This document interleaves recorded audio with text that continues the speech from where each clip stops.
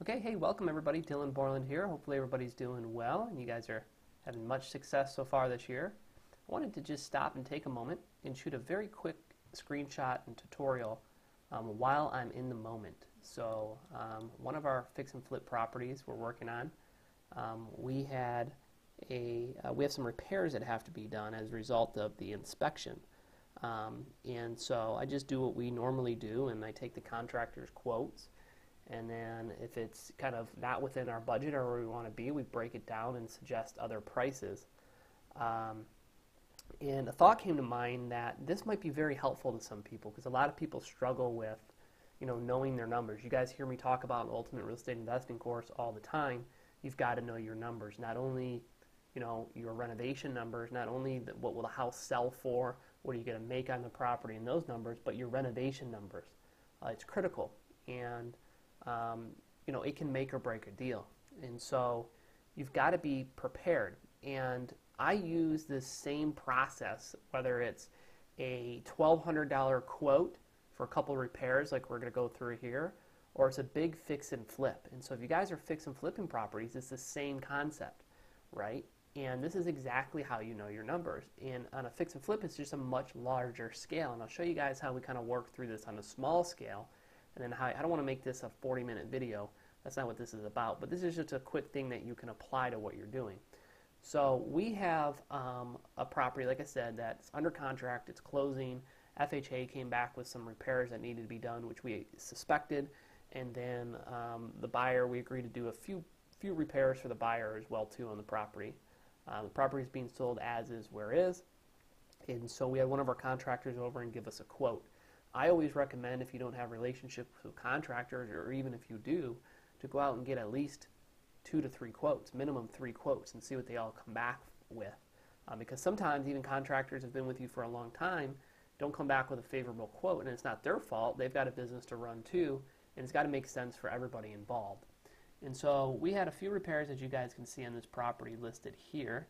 And the pointer, the mouse doesn't work on this um, screen capture for some reason. But you guys can see it here. We had some repairs that came back. And these were the original quotes that were submitted to us by the contractors for the line items that need to be done. And so I just took these quotes, and it looks like they include labor and material. And I just took these quotes and I, and I brought them over to a Google Sheet to make them a little bit digestible. And I'll write down, and remind you, I do this with a fix and flip, and I'll show you guys briefly how I do that in a moment, and how can, you can apply it there as well. But I wrote down just briefly all the line items that need to be done. I wrote down the current contractors, you know, quotes for those items, and then the total. So there are two quotes. So this is the total for quote one, uh, which you guys can see. Um, the number is actually different than the number here on this quote, which is 134, but the numbers add up to uh, 1029. I don't know if I copied everything over correctly. 55, 27, 50, 55. 55. Oh, okay, so it's rounding up on uh, Google here. Anyways, that's insignificant. So I just copy those numbers over here. And then for their second quote as well, for 430, you guys see I copied the numbers over here as well. And so their total is 1400 bucks, which is a little bit more than we wanted to spend. We, our budget, you know, and every dollar counts. And if you multiply this on a fix and flip, it's like, you know, on a fix and flip, you might get quotes at 25,000 and you need to be at 20,000 right? So every little thing helps.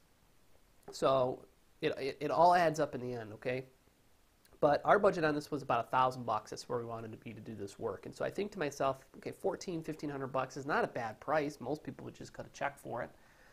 But I like to break it down. I said, can we do a little bit better? And this is how I break it down. So I think to myself, um, and you know what? This would be good. Let me see if I can pull up some pictures for you guys here real quick um, as well. Maybe, maybe not. No promises here. Uh, yes, I can. So I think to myself, for example, let me drag this over here to the screen. There we go. And let me go back to this. Okay, so with line item one, upstairs bedroom needs to be scraped and paint. A little bit, so FHA usually has a problem with peeling paint because, I don't know, it's just one of the conditions. You can't have peeling paint. So one of the FHA repairs that came back was, uh, and this was not a renovated property, this is a property cleaned up and sold as is. One of the repairs that came back, if I can find the image here, was peeling paint above the door. And so this is how you work through it. So you guys see that there? Do you see this peeling paint above the door? So we're talking literally, you know, a, a, a, you could dip your finger in some white paint and spread it across that and, you know, fix it. And so the contractor came back with a quote of $55. And so I created a, I always create an adjustment column here and I say to myself, how long would this take a contractor and what do you pay your contractor? You know, most of our contractors we pay between 30 to $50 an hour if they're working by themselves. If they have a crew, it could be $60 to $75 an hour for general contracting labor. If it's specialty labor like electrical or mechanical, you might pay anywhere from 75 to $100 an hour. And so you just got to figure that out. And so I'll say to myself, okay, how long could you literally spend on fixing this little paint issue here? Like three minutes, right? And so I break it down, I give them benefit, and say it's going to take 10 minutes. And so I just adjust the price and say, okay, 10 minutes, a couple bucks in labor and material, you might make 20 bucks on it, right? And you're only working 10 minutes. So I just adjust the price there. Smoke detector in the basement.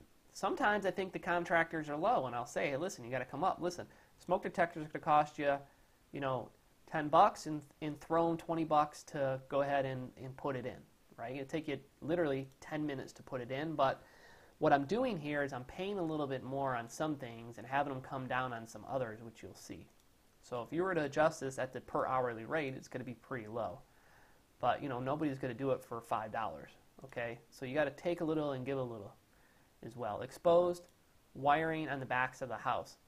Well, this is super super simple. I don't know if you guys will be able to see in the photos here, um, but the exposed wiring on the backs of the house was an old air conditioner that was removed and the wirings were less. So they quite literally just need to be snipped, pulled out, and capped. Um, yeah, there's not even a picture of it. Um, so, uh, so we agreed to do that. They were charging 55. I said, listen, 45. You're just cutting some wires. Give you the benefit of the doubt. It takes you, you know, 30 to 45 minutes to do something like that, and then cap it. Okay. Materials are going to be next to nothing. Uh, Brick tuck point. Tuck pointing is repairing, you guys will see in a photo here, brick tuck point above window on north side of the house. Well, that's this issue here. You guys see this window on the top? So if I zoom in, you'll be able to see this little bit, you know, FHA likes to have this filled in. See, tuck pointing is all this mortar in between these bricks. And so they just want this little tiny bit filled in here. Well, you know, they sell tubes of, of mortar already made. You just squeeze in and run a nice line across. So we think to ourselves, how long could that possibly take an experienced contractor, right? And they're charging $215 for it. So I said, listen, this should take 30 to 60 minutes. Really, it should take five. So I'm super, super padded there. Um, and then, you know, it's one line of tuck pointage costs 10 to 15 bucks. So throw in a little extra. You figure they spend 10 to 15 bucks on materials, and we and make 75 for 10 minutes worth of work. So I adjusted that price there. Now replace 22 shingles on the back side of the roof that blew off. So, you know, 500 is not a bad price to do that. But then what I do, and I go back, I don't know, I don't know what a, co- box of shingles cost, but most, most of the time you're to buy them from your Home Depot or Lowe's. So I'll go to Home Depot's or Lowe's and I'll put in, you know, roof shingle, right? Roof shingles. And you guys can see here, this is what I do. If I don't know a price of something, I'll go and Google it. And I like to buy things from home, uh, Lowe's or Home Depots a lot of times, in, in most of our cookie cutter houses, because they're national companies. You can have a systematized um, list of materials um, that you use in all of your properties over and over. If one store is out of it, you can go to another store and get it. And it makes logistics super, super simple. But you guys can see here, you know, shingles are running 28 to $30 a box. Well, if I have 22 missing shingles, and that means I roughly have 22 square feet of missing shingles, because I think they're like, they sell in per square foot. You guys can see 25 yards or 33.3, you know, feet per bundle. And so you throw in some roofing nails, you throw in some shingles, you know, you're probably looking at, at the most, $60 in material. And to do something like that might take somebody four to five hours. And so I just adjusted the price here. down a little bit. Remember, we're trying to get within that $1,000 budget. And so I said, okay, realistically, you're 30 to $60 in material and four hours worth of labor. Garage window pane scrape. This is one where I gave a lot because you guys can see here on the garage window, to scrape and paint this, again, you're going to get a quart of paint for like five to ten bucks. And you're going to scrape it and you're going to paint it, and it's going to take you like 30 minutes to an hour at the most. So you can see that the contractor is wanting to charge 83 bucks. I just said, hey, let's bring it down a little bit and say and say 75. Now, if I were really doing the math, I would say, okay, say it takes you an hour and $10 in paint. Well, what's your labor? 30 to $50 an hour and add $10 on that. So that might be really like a 30 to $50 job. And same thing here. They, they just gave us a big quote for um, a couple projects, $430 total. And so I think to myself, Okay, there's a dryer vent on the outside of the house that needs to be replaced. I don't know if that's showing here in the photos. Maybe, maybe not. Probably not. Um, yeah, it's not showing. Um, well, a dryer vent cover, well, let's just give you guys an example, right? Dryer vent cover. Dryer vent cover. This is how you figure it out. Some of you guys are like, yeah, this is a no-brainer, but a lot of people actually struggle with this. Dryer vent cover. Okay? Aluminum vent cover. Holy shit, I need to get in the dryer vent business. 75 bucks, right? I don't think that's accurate. Uh, couldn't imagine that thing costing 75 bucks. Um, let's try it again. Dryer vent. Outside dryer vent cover. That's what we're looking for. It's on the outside of the house. Couldn't imagine it costing 75 bucks. Um, here we go. Okay. There we go. Wide mount dual door wall vent. Round wall vent, flush mount in white.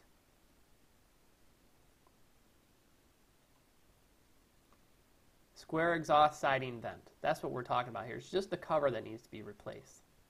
So 19, 20 bucks, right? I don't know what that other thing was for 75. Huh.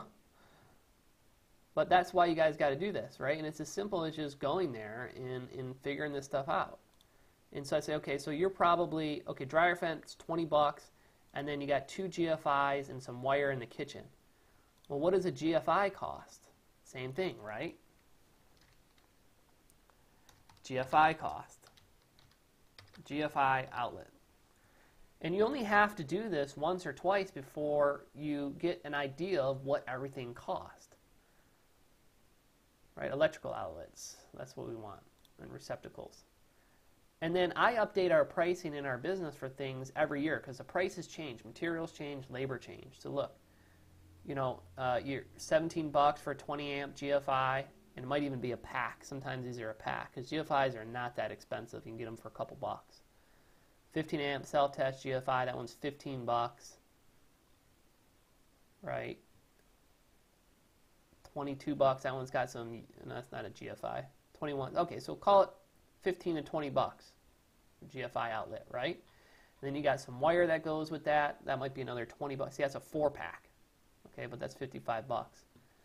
So you, so you say to yourself, benefit of doubt, you're probably going to have about 75 bucks in material, and it's going to take you maybe five hours in labor to do something like that. So, you know, they were charging 430. I said, hey, let's do 325. Now, if you wanted to, you could say equals 5 times, you know, $0.30, or 5 times 30. That's your hourly rate, plus your materials would mean 225 right? And that's and that's what I would do normally. But I want to, you got to give some and you got to take some, right? And my budget was a thousand bucks, and so I'm a little bit over my budget. And then I and then I always put a buffer on top of that, and usually it's a 10% buffer. You guys can see here if you look at my formula in the top left corner, I did 975, which is the sum times 1.15, which means I'm adding 115% to it, 15% on top of it. I did that because if I do a 10% buffer, you know, I, I'm at 1,073, And I'm just trying to be fair here in this quote. I'm trying to make it the quote fair for everybody, for both the contractor and us. So I'm a little bit over and they're a little bit under. And so I added a 15% buffer on it. But usually I add a 10% buffer because, you know, things happen when you get involved in this. If I think it's going to take an hour, the other thing that I'll usually put in here is I'll even get more specific and I'll add a 10% on all this time, right? Because if I think it's going to take an hour, give it a benefit of a doubt, might take 10% more on top of it. And then you've got the time back and forth to Home Depot and all that type of stuff. So I might have a line item in here if I'm going by hourly with this, like I do on a big renovation quote. This is just a $1,000 repair quote. But on a big renovation quote, I'll add 10% buffers on all the times that I think it might take. And then um, I'll put in like an hour or a couple hours of drive time back and forth, right, at $50 an hour, or whatever it is. So, you know, that's how you do it. This is a very simple, primitive example of how you work it down, and it's important to know your numbers. Um, you know, and when it comes to big renovation, it gets even more important. And so I'll show you guys a lot of times how you work through the renovation. You only have to do this once, save the Excel sheet, and then you know what things should cost. And so you ask yourself, let's take a renovation for example. Let's say you're doing a bathroom. Okay, and we say, okay, so bathroom. Well, what are all the elements of a bathroom? Think to yourself. We have the tile, you know, floor tile. We have the wall tile. We have the toilet sometimes. We have the tub sometimes. Let's just say we're doing it all, right? We have the vanity. We have the mirror. And then we have, you know, the, um, the toiletry kits, like the toilet paper holder, the, you know, whatever. Just put um, accessories, right? You know, um, the towel holder, all that type of stuff. And then you've got the actual, like, you know, when you do the floor tile, you're going to have to maybe do some underlayment or some thin set underneath that, so you, or the mortar underneath it. The same thing with the wall tile. Um, so you have some extra material that goes along with it. Um, toilet. Well, when you do a toilet, you're going to have some caulk around it. You're going to have the wax ring that holds the toilet in place. And so, in, for the sake of not turning this into an hour-long video, I'm not going to put those in there. You guys get the point. Um, you know, the tub, same thing. Well, when you install the tub, there's other things. There's plumbing that goes with it. Sometimes you got to replace the plumbing or the shower diverters or the shower head, right? Shower head, that type of stuff. Sh- um, shower diverters. Okay, and I can't spell, so don't blame me. You don't need to know how to spell to invest in real estate. Um, okay, so you guys get the point. So think to yourself, if you're doing a bathroom, what are all the things that are going to go into a bathroom? And if you're clueless at what the prices are, you break it down like this and you say, okay, so material and then labor time. So how long would it take you to do a bathroom? And then you got to think about your tear down. So usually it'll take you a day, a full day, to tear out a bathroom.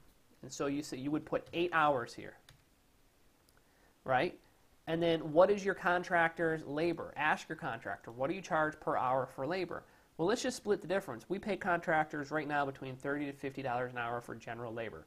Usually somewhere between 30 and 40. 50 is really super high, and that's usually if they have somebody else with them. That's in Michigan. So then I say, okay, so let's just call it $35 an hour, you know, um, and I'll put a tab here, price per hour, 35.00. And that will come into play here later. But then I say, okay, floor tile. So go into a normal bathroom and measure your floor. How many square feet do you have, right? Well, if the space is 3 feet by 4 feet equals 3 times 4, you have 12 square feet of floor tile. So then I'm going to go to Home Depot and I'm going to physically walk around and find some tiles that I want, floor tile, right, and start to build a price list. And you only have to do this once, room by room, and this is how you get to be an expert at what it costs to renovate a house and what it costs to, you know, the materials and the labor so that you know what you're doing. So that when you get a quote from a contractor for $30,000 and you did your math and you're being re- fair and reasonable, and you say, okay, break it down for me, Mister. I've been in many situations with a contractor where I said, okay, you want $7,000 to do a bathroom. Help me understand that. Let's break it down together. And I'll do exactly this. And I'll say, okay, here's the material. What do you charge for labor? Mr. or Mr. Contractor, isn't it reasonable that to do the floor and the tile, uh, to do the tile floor, it might take you, remember, it's already been demoed. We accounted for that down here. It might take you in a small bathroom like that, you know, maybe four hours to do the floor. Is that reasonable? Yes. Okay, great. Mr. or Mrs. Con- Mr. or Mr. Contractor, if you're doing the wall tile, how long would it take you to do the wall tile? Four to five hours? Is that reasonable? Fantastic. How long would it take you to put a toilet in? An hour? Would you agree? Fantastic. How long would it take you to do a tub? Four to five hours? Fantastic. How long would it take you to put a vanity in? Three hours? Fantastic. How long would it take you to hang a mirror and put a mirror in? You know, an hour? And that's overkill, but whatever. You guys get the point. How long would it take you to hang all of the accessories, the towel holders, and all that stuff? You know, maybe you spend an hour doing that. Fantastic. Put the shower head on. You know, um, 15 minutes, right? Shower diverters. Now that's going to take some time. How long would that take you to put in the shower diverters? Um, you know, four hours. Great. Just so you guys know, when we do bathrooms, we plan for a day of demo and two to three days to actually put the bathroom together. So you could be looking at total three days at, at eight hours a day in labor. Let's see what this adds up to. We have a total here of 32 hours. Equals 8 times 3 is 24. Well, it'd be 8 times 4 because we have a day of demo. Would be 32 hours. See how close we were there? Right? 32, 30. We're spot on. 32, 32, right? Day of demo, three days to put it all back together for a normal small bathroom. That's pretty reasonable. And so what I would say to myself is, you know, for labor, I would take, labor is good, so I would sum this out and I would say sum equals sum of all of this. We have 32 hours in labor. And then cost-wise, we would do equals that times your price per hour times that. Oops, sorry. Equals that times that. So labor for a bathroom, I'm looking at 1100 bucks. Right? Now floor tile, same thing. Go to Home Depot and look at what floor tiles you want, right? Floor tiles can range anywhere from a dollar to four or five dollars per square foot, and then add another about 50 cents in. Show up at Home Depot and get the prices, right? Uh, uh, floor, flooring. Let's just do flooring. I like to go to the store and get a price list once a year on things. But you can do it online. You know, and let's just say, I'm just making this super quick for you guys. Well, same thing with wall tile, right? Um, what the heck is the bathroom floor?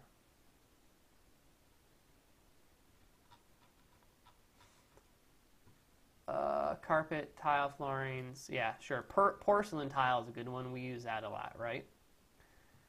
And so that's why it's better to be at the store and do this. But you can see 199 a square foot, 248 a square foot, 199 a square foot.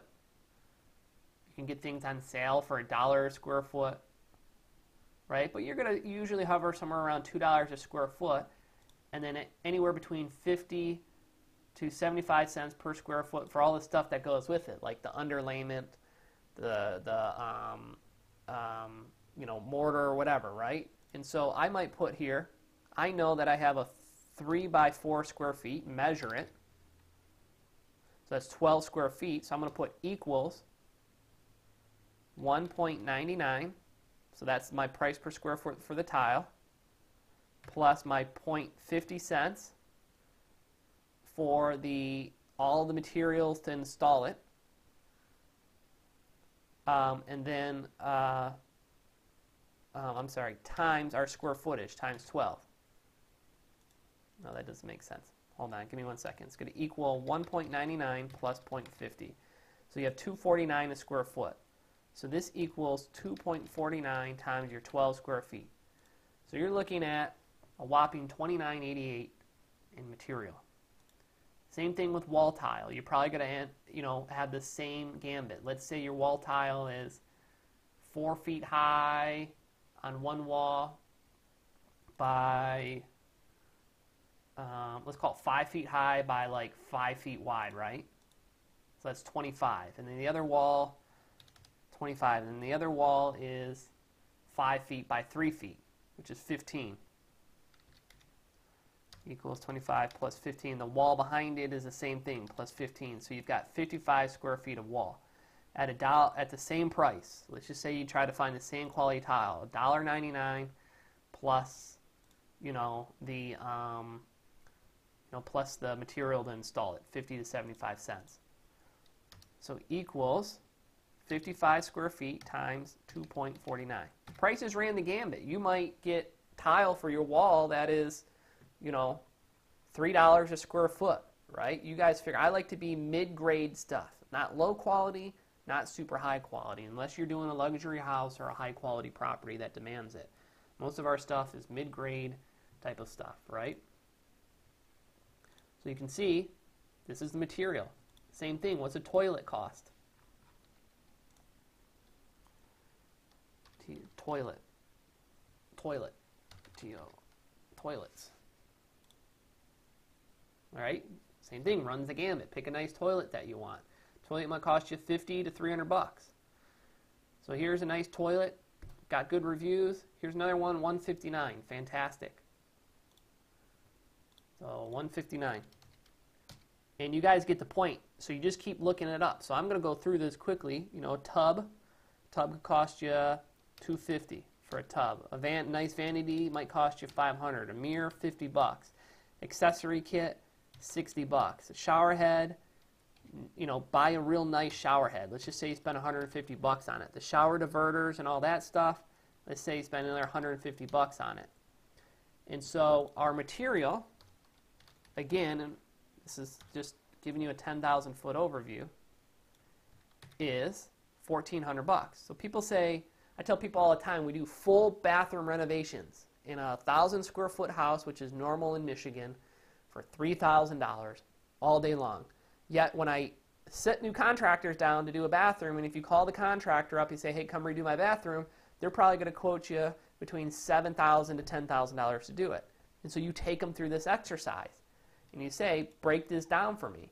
Okay, so you're telling me that it's going to take you three to four it should take you three to four days to do it. We have $1,500 in material. And so the remaining $6,000 is labor. Next, pick another contractor, right? And so you can see equals sum. You, can, you don't even need to do sum, you just do equals the material plus the labor is $2,600 to do a full bathroom. And then you'd add a, you know, a 10% buffer on that. So you'd go equals that times 1.10, 110%. So $2,800, 3,000 bucks. That's how you break it down. And then you move to the next room. Kitchen, break that down.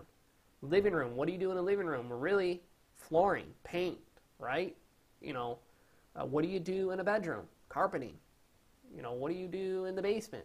Break it down, and you only have to do this once in your life as a fix and flipper or a wholesaler. Save it on an Excel sheet, these numbers.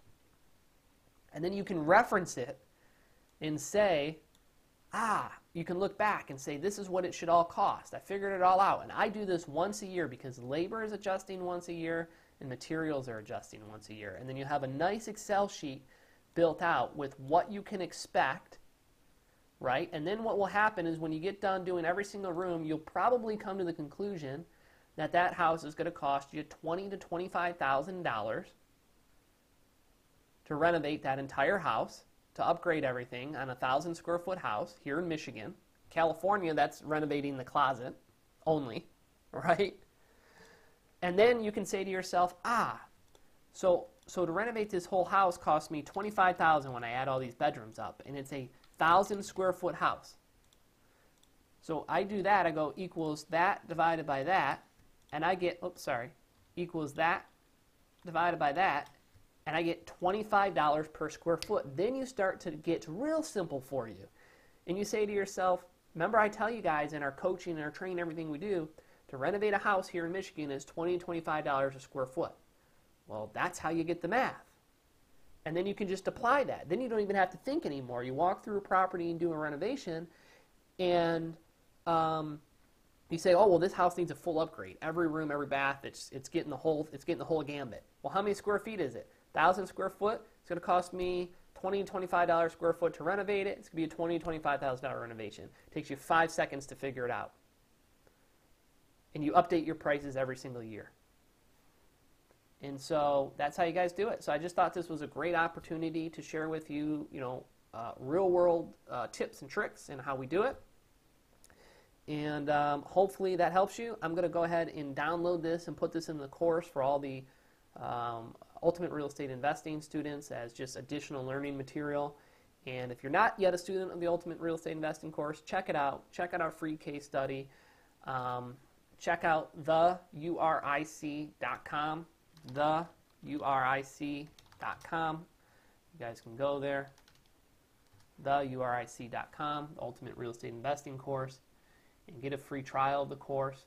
And you know you can schedule. I've got lots of great videos here. The best path to get started in real estate. What's a good deal? Analyzing your numbers. A deal in 90 days. What makes a good investment property? Tons of stuff. Um, and then you can get an inside look at the course the really most important thing is schedule this free strategy call with me. Schedule a free strategy call with me. I chat with you one on one. I look at where you're at in your business, where do you want to go, how can you get you there. I give you some real um, tips and tricks on that call. It's free. Um, and then if you guys are ready to get in started, you can apply for the course or get a free 72 hour trial. Course is growing, there's over 85 modules in it, weekly group coaching with me, 90 day success plan is incredible things. So um, hopefully that provided some value for you guys. Um, do this once a year. Know your numbers. Understand your numbers. It can be the difference between you getting a deal or not. If you think that your contractors are giving you a quote for $37,000 and it really should cost you $25,000 to get the property done, but you go off of the 37 and you make an offer to the motivated seller based on the $37,000 renovation, you're going to get beat out all the time by guys like me who might know my numbers because I can offer that seller more money for their property because I have the right quote. And so I just beat you out of the gate by what? $13,000 because you're getting whack quotes from contractors because you don't know your numbers, right? And so it makes a big difference. Know your numbers, understand your numbers. If you want to master learning your numbers, you want to master real estate investing, then I strongly suggest you get involved in our Ultimate Real Estate Investing course, become a student of ours, get the weekly coaching with me. We're going to make you a master of this skill. Make it a great week. Talk to everybody soon.